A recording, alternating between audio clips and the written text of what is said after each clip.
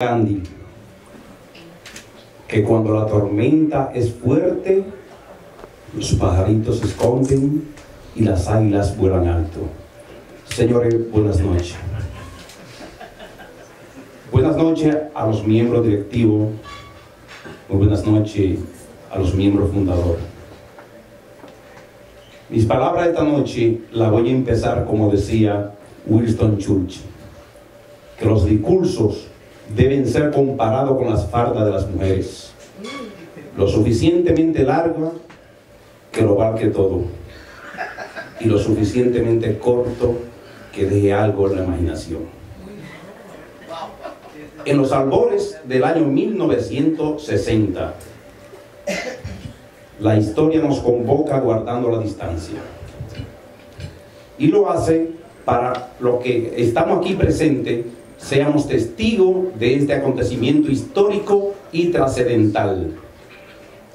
Histórico, porque si hacemos un estudio minucioso, transportándonos al tiempo, todos sabemos que luego del ajusticiamiento de Trujillo, de fecha 30 de mayo de 1961, y la revolución de abril de 1965, Ahí es que empieza el éxodo de dominicanos, en el cual hoy día tenemos una de las diásporas más grandes de país alguno. En principio, nuestras actividades artísticas se hacía vía consular. Eso era por allá en los años 60. Es a partir de 1970 donde comienzan los primeros empresarios artísticos dominicanos. Ya estaban los puertorriqueños y los cubanos también luego del triunfo de la Revolución Cubana de fecha primero de enero de 1959. Parece ser que cada 10 años la historia nos convoca. Por allá por 1983 había una guerra campal entre empresarios artísticos al igual que dueño de discoteca. En el año 1983 intentaron crear la primera asociación de empresarios artísticos y no se pudo. Por allá, por el año 1993, 94, volvieron a intentarlo. Tampoco se pudo. Ustedes se preguntarán, ¿a qué obedece que no se pudo? Obedece en que ese entonces los empresarios artísticos de esa época miraban al compañero por encima de los hombros. Pero también pasaba lo mismo con los dueños de discoteca. Quiero una guerra a muerte, sin piedad, con trampas, con mentira, con engaño, con falsedad. Para el 2003 vuelve la misma situación. Esa vez avanzaron un poco más. Me refiero a los empresarios artísticos.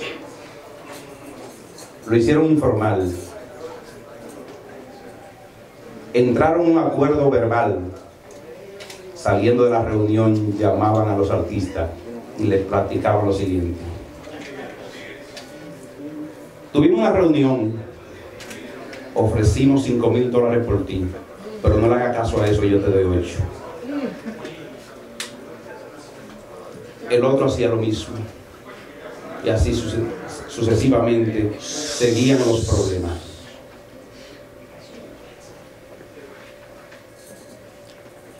vuelve la historia y lo convoca a 2003. En la oficina de Johanny Ulloa, Rami Reyes, Enrique Paulino, comienzan a hablar nuevamente del tema. Pero parece ser que la providencia quiso que fuera, que fuera en esa fecha, que se iniciara ese diálogo.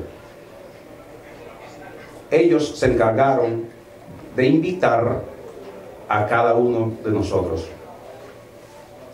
La primera reunión la estuvimos un 5 de septiembre de 2013. Ya a veces cinco décadas después. Invitamos a todos, directa o indirectamente, porque el mundo del entretenimiento se ve grande, pero a la misma vez pequeño. Acudieron algunos. Los incrédulos nunca se acercaron. Muchos de los que fueron todavía tenían la mente pensando que Trujillo vivía en él.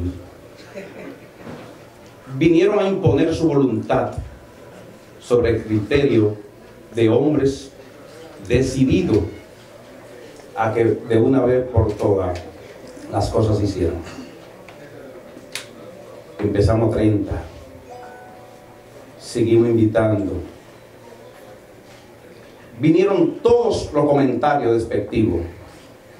Esos no van para ninguna parte. Esos son un grupo de charlatanes. Esos son un grupo de truanes. Etcétera, etcétera, etcétera. Han transcurrido un año y nueve meses y aquí estamos. Esa es la historia de esta novela. Viene lo trascendental, lo que pica, lo que molesta. Nadie puede mandar en casa ajena, ni nadie tiene derecho a tasar a ningún artista. Nadie tiene licencia de tasador para decirle a usted lo que vale o lo que valgo yo. Nosotros en esta oportunidad no estamos aquí para hacer una utopía de lo que somos. Entendemos que hay muchas cosas que podemos hacer, muchas cosas que podemos resolver. En estos días sonreía yo de ver que alguien escribió diciendo que nosotros nacimos natimuertos. Porque en la industria del entretenimiento hay muchos fascinerosos, hay muchos engaños, hay mucha mentira. Y estamos impuestos a que las cosas hay que cacarearlas. Pero la verdad es coja y se arrastra. Y la mentira vuela. Por ahí dijeron que nacimos nati muerto. Y es bueno que ustedes escuchen lo que voy a decir. Nadie nace nati muerto pudiendo tener el 70 y pico por ciento de los artistas dominicanos en un catálogo. Nadie nace nati muerto si con nuestras actividades y el desprendimiento de los miembros fundadores de la idea hemos podido aportar a la dominicanidad con actividades conjuntamente con el Tina Lounge más de 60 actividades pro beneficio de la dominicanidad, logrando con ello acueducto en la República Dominicana.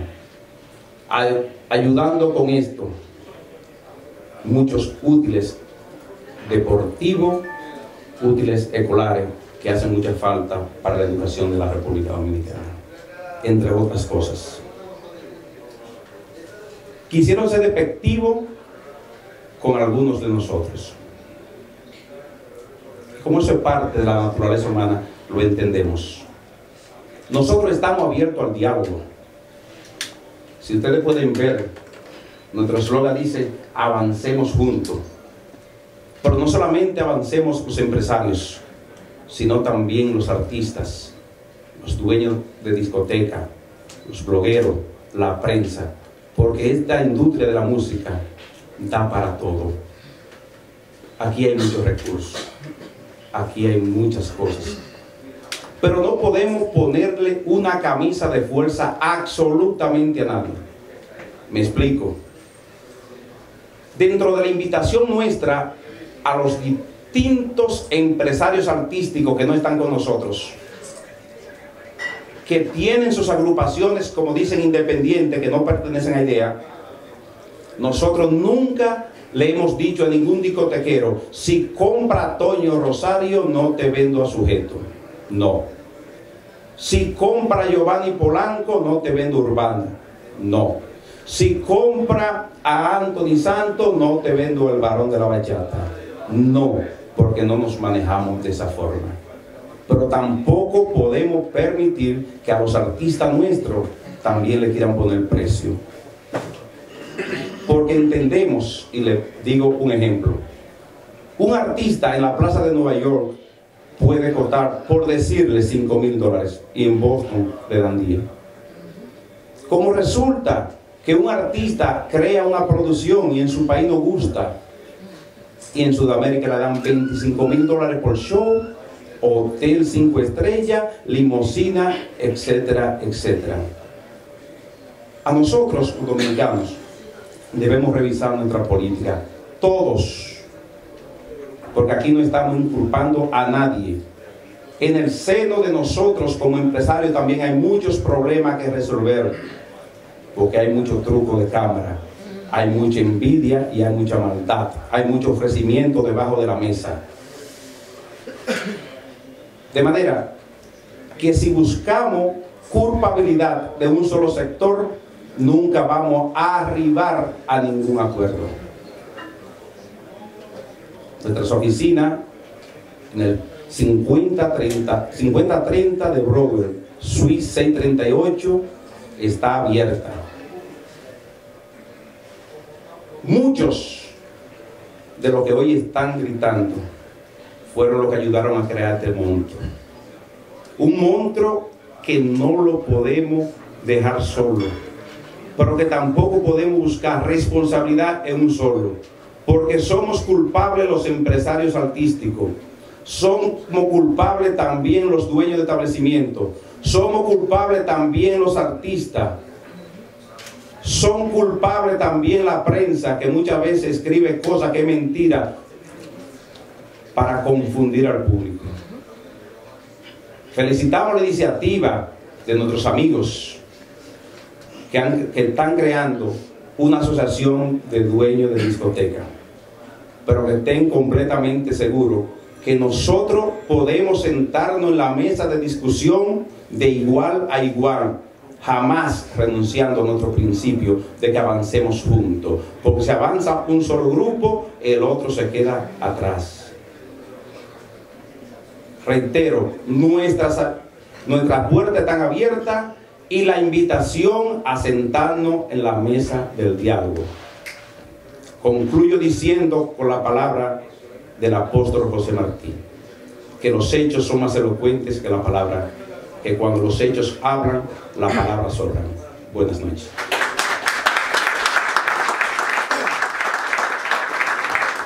Esas fueron las palabras del señor Eladio Castro, presidente de la Acción Internacional de Empresarios Artísticos. A este encuentro con la prensa se integra el señor Julián Peña, Chico Mambo de Chico Mambo Production, Chico Mambo. Eh, bajo su catálogo está eh, Chiquito Timbán, Lápiz, Chelo Shaw, Urbanda, Black Jonas Point, el poeta callejero Shadow Blow y Merimel. También le damos la bienvenida a ese gran representante del género bachata de la República Dominicana, el varón de la bachata que se integra, bienvenido, que se sienta bien. También Jorge Lewis, cantante de música típica, el voz líder de Urbanda, de está con nosotros. Bienvenido. Bienvenido también el merenguero típico Radamés Rodríguez, que dice presente a este encuentro. Damos la bienvenida de manera especial al señor Sugar de soylatino.net que está con nosotros, nuestro amigo Francisco que vino directamente desde Filadelfia a compartir y a conocer las incidencias. Nuestro amigo Canal de Alemão, que dice presente también, y el señor Ney Zapata, vicepresidente de Acroarte, Asociación de Cronistas de Arte de la República Dominicana, de Santiago de los Caballeros, nuestro invitado especial que vino a dar cobertura a este encuentro con los empresarios artísticos de la ciudad de Nueva York. Soy bachatero, los callejeros y los demás eh, representante de los medios escritos, digitales, radiales y televisivos de la Gran Manzana. Siéntase como en su casa, bienvenidos y bienvenidas. Eh, realmente para nosotros es un grato placer poder contar con la presencia de cada uno de ustedes.